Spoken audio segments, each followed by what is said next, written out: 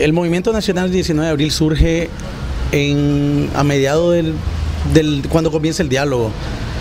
En mayo 26 del 2018 nosotros nos reunimos y visitamos los tranques. Eh, nosotros tenemos, o nos conocen por, por haber tenido contacto con los tranques.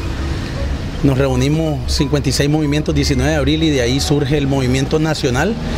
Hubo una una votación en consenso si se llamaba Movimiento Popular o Movimiento Nacional. Decidimos llamarle Movimiento Nacional 19 de Abril, que es la alianza de diferentes movimientos 19 de Abril que surgieron a raíz de las protestas en sus municipios, en sus trincheras, en sus departamentos. Y eh, después nos dedicamos a visitar los tranques y apoyar desde un café, de un, los cigarros. ¿En qué tranque?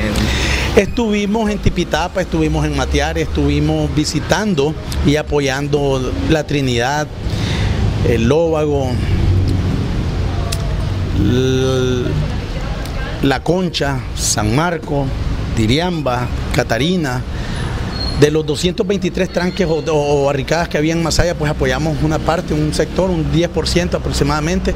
Estuvimos en Granada, estuvimos en Andaime, estuvimos en Ginotepe, en el hermoso tranque de San José.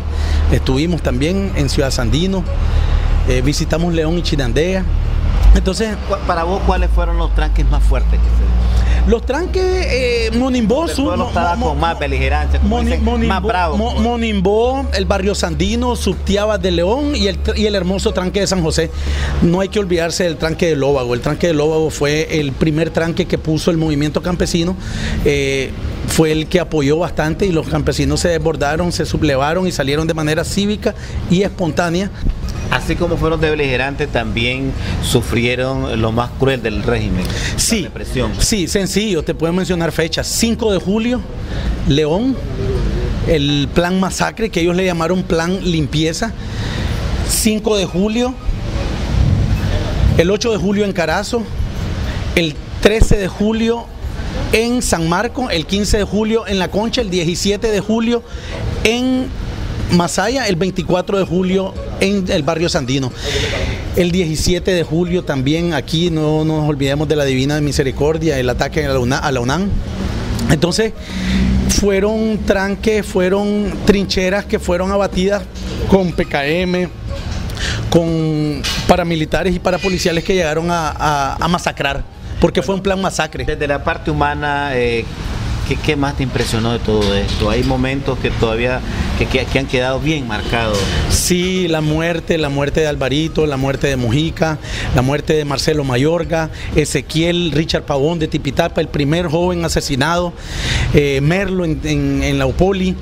Y todas estas muertes pues están y estamos por ellos, estamos siempre levantando la voz. Eh, es muy importante destacar que todos estos héroes, héroes que fueron asesinados porque salieron a masacrarnos, eh, son los que nos han mantenido aquí. Tenemos a, a 139 presos que por ellos nosotros hacemos siempre el llamado a la unidad, siempre hacemos el llamado a que tenemos que seguir.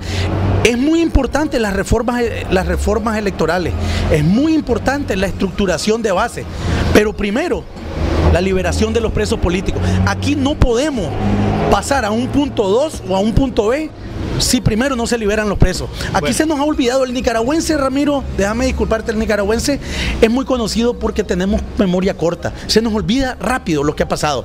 Y este, este ambiente, este, este, este, este ambiente de calma que se siente, que no quiere decir de que estemos calmados, porque seguimos en resistencia y en desobediencia.